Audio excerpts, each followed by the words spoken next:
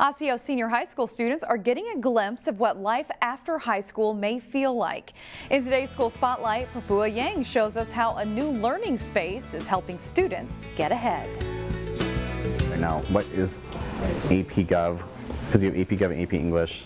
Behind these glass doors Right, have you done the survey? is no standard classroom setting. The book was just too much for me. With its mobile seating and interactive environment, That's good.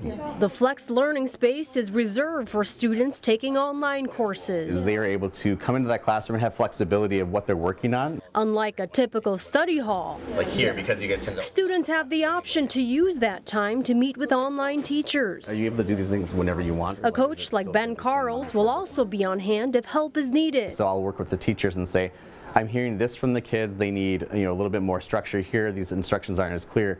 And then the teachers will communicate to the scholars. So like 250-ish I start working on homework. High school senior Aunty Johnson says the flexible workspace is helping her in many ways. Um, time management, it's helping me a lot because I'm like managing my time more wisely. If I, I rather understand something than The room also allows for conversations and collaboration with other students. we all take the same class so we're able to communicate with each other like hey I don't understand this do you understand it and can I can you help me or can I help you Karls says the new workspace along with online courses relate to today's workforce. Because it's no longer a world where you go directly to your site. Oftentimes you can be working from home, you can be working with colleagues from another country, another state. Yeah, because that was a big issue last time. He says this 21st century model oh, will prepare students the wording of the test for college and beyond. in chem. In Osseo, Pafua Yang, CCX News.